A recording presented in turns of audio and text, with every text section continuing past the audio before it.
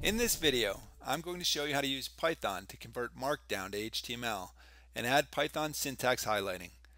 This video is based on Sebastian Raschka's article entitled 5 Simple Steps for Converting Markdown Documents into HTML and Adding Python Syntax Highlighting, which is available at the URL shown here. The steps are as follows. 1. Install necessary packages. 2. Write a Markdown document. 3. Convert the Markdown document to HTML. 4. Generate the CSS. And 5. Include the CSS in the HTML document. The two packages we need are Python Markdown for converting Markdown to HTML and Pygments for adding the syntax highlighting. We can get them both using pip. So let's do that. pip install Markdown and pip install Pygments. That was easy. Okay, now we need to create a Markdown document. I'm going to use the online Markdown editor at stackedit.io and I'll just copy the same document Sebastian used in his article and paste it there. There it is. Now we'll save it as markdown.md.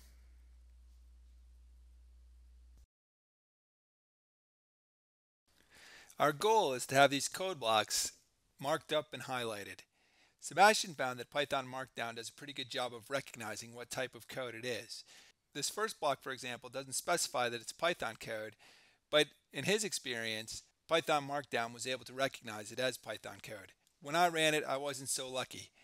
So I recommend that you start your code block with this marker to indicate that it's Python.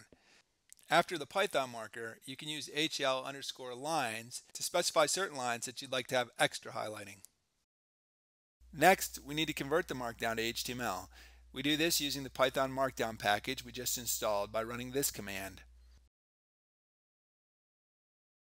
Note that we don't need the dash "-x code highlight bit to make the conversion from Markdown to HTML, but we will need it for the syntax highlighting. Here's the HTML document that was generated. It looks good, but there's no highlighting yet. We need the CSS code for that. We generate the CSS using the Pygments package we installed. Here's the command.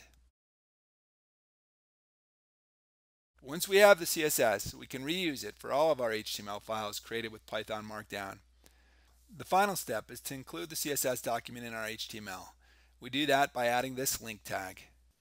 Then we just take the HTML that was created when we converted from the Markdown and we paste it into the body of that document. We save and we can view it in a web browser. And here's what it looks like. Notice the beautiful highlighting of the last two code blocks, but the first code block isn't highlighted. And again, that's because Python Markdown didn't recognize this as Python code. So I think you're better off always explicitly stating what type of code you're using. And by the way, this doesn't only work with Python. You can use this to add syntax highlighting for any of the languages shown here. I hope you found this useful. Thanks to Sebastian for the inspiration for this video. Check out his blog at the URL shown here for other articles on Python and other programming topics.